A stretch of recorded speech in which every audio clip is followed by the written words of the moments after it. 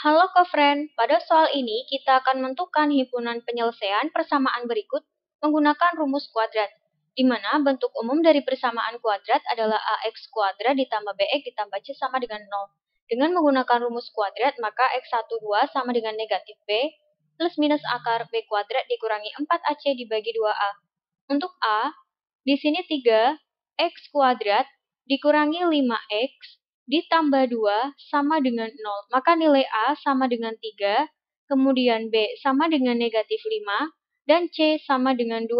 Sehingga X1, 2 sama dengan negatif dalam kurung negatif 5, plus minus akar, berarti B kuadrat berarti negatif 5, kuadrat dikurangi 4, dikali 3, dikali 2, kemudian di sini dibagi dengan 2 dikali 3 berarti sama dengan 5 plus minus akar 25 dikurangi dengan 24 dibagi dengan 6. Hasilnya sama dengan 5 plus minus akar 1 dibagi 6, maka sama dengan 5 plus minus akar 1 adalah 1 dibagi 6.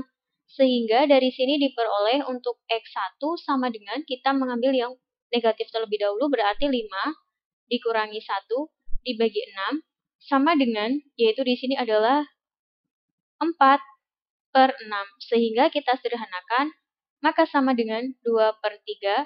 Kemudian untuk X2 sama dengan 5 ditambah 1 dibagi 6, hasilnya sama dengan 6 dibagi 6, sama dengan 1. Sehingga himpunan penyelesaiannya atau HP di sini adalah 2 per 3 dan 1.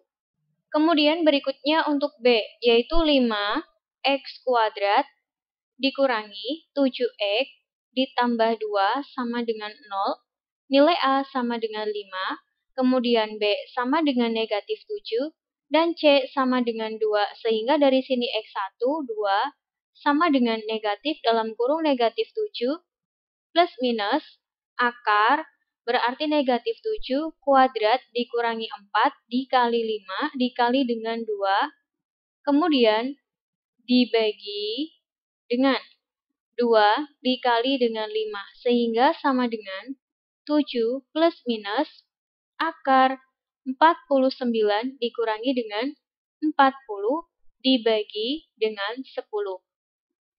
Sama dengan 7 plus minus akar 9 dibagi dengan 10.